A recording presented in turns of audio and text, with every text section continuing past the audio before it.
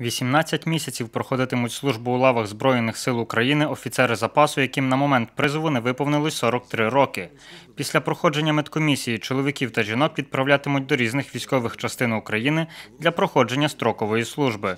У зону проведення антитерористичної операції офіцерів запасу не відправлятимуть. Минулого тижня міністром оборони України підписано наказ про призов на військову службу офіцерів запасу. Призову на військову службу підлягають офіцери запасу, яким на день відправки не виповнилося 43 роки, і які отримали е, вищу освіту з рівнем не нижче бакалавра.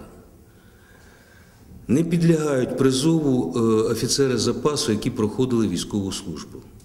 Без різниці офіцерам чи солдатам.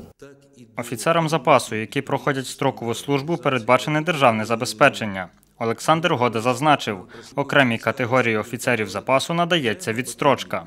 Відстрочка надається за сімейним обставин. Це в разі, якщо офіцер має вагітну дружину е, або має двох і більше неповнолітніх дітей, або одну дитину віком до трьох років.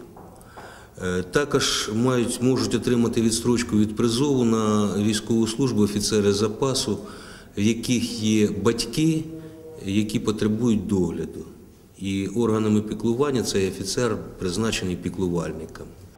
Призов триватиме до кінця червня цього року. За цей час Збройні сили України повинні поповнитись щонайменше 44 офіцерами запасу з Тернопільщини. Ті офіцери запасу, які ухилятимуться від призову на строкову службу, відповідатимуть перед законом України.